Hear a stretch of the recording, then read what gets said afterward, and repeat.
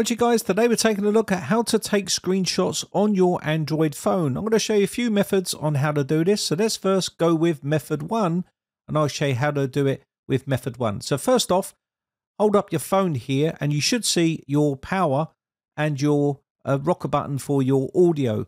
So what you need to do is you need to hold down the power button and the volume down uh, button right here. You need to hold these down simultaneously together and what will happen is you will end up getting a screenshot. You'll see the screen flash and there is the actual screenshot right there. And this will show up in your library and you'll be able to save this screen uh, shot right here. And you can share it as well on any of your uh, social media platforms or anything like that if you wanted to. You can save it here or you can share. So very simple and easy to do. That's the first method. I'm going to delete that one there. I'm going to show you one more time on a website. So if you have a website that you want to uh, take a screenshot of, you can do the same method and push it and it will take a screenshot. You need to push them both together at the same time. I do have a tripod in front of me, so it makes it a little bit harder, but you can take a screenshot of something that you want to capture very quickly and easily, just like so. And it will capture the whole screen and then you can uh, share that if you wanted to. So let's move on to method number two here, and I'll show you how to do it with method two. So method two is go down to the bottom of the phone and push your finger down and push up a little bit and you should get access to this area and you can go back to any of your previous uh, things that you've been doing and take a screenshot of any of those and it will give you a screenshot just like so. Very simple and easy to do.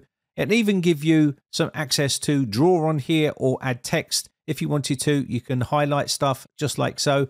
Uh, very simple and easy to do. You can erase things as well and you can also add text on here if that's what you want to do. And then once you've done all this, you can then uh, send it to someone. Now, this is great if you want to do quick memes or something like that. Maybe you've got a, a post that you want to take a screenshot of. You can make your own meme and then send it to someone as well. Let me delete that and I'll show you another method on how to take screenshots on an Android phone.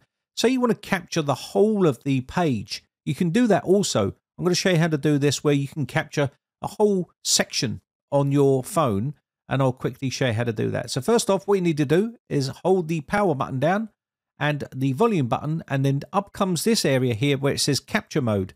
Click on capture mode, and then what you can do here is extend uh, the capture mode to the whole page if you wanted to. So let me go ahead and drag these up here, and we can now capture this whole section and save this or send it to someone. So maybe it's an article online that you want to capture and save it for later on and read it, or you can send it uh, to someone else. Very simple and easy to do. So for method four, we're going to use the Google Assistant, and this is going to allow us to use our voice to capture the screen. And it's very simple and easy to do. So inside settings, we're going to need to go to uh, the apps location here.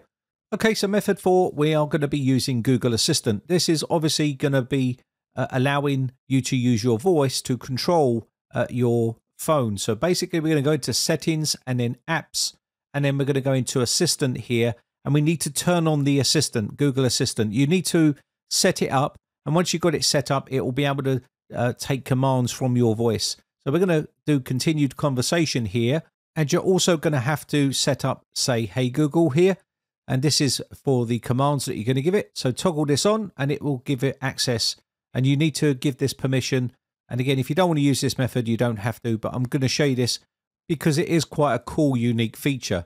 So it's basically going to ask you to do a couple of commands which says, okay, Google, what's the weather tomorrow? And once you've done this, it's going to say that is okay and give you a tick. And then you can move on to the next thing. So you need to give Google the correct answers so it knows exactly uh, what your voice sounds like. You can see here's only about two or three of them that we have to go through. So now say, okay, Google, and then set timer for five minutes. Once it gets used to this, it'll give you a check mark here. Say, hey, Google, make a call, and then it will uh, show you exactly what to do next. So about four of them actually that you need to do here. And once you've done this, you're free to use the actual application for taking screenshots and other things. So there we go. Hey Google is ready. So now we can click next. And once this is done, it's going to ask you to uh, start saving audio and images on your device. I'm going to say not now. So now we're ready to take a screenshot. So let's go back and take a screenshot. So let's give it an instruction. Hey Google, take a screenshot. And you can see the screenshot has been taken and you can edit it, delete it or share it. Very simple. Anyway, that's going to be about it for this one. My name has been Brian from briteccomputers.co.uk. Thanks again for watching. Bye for now.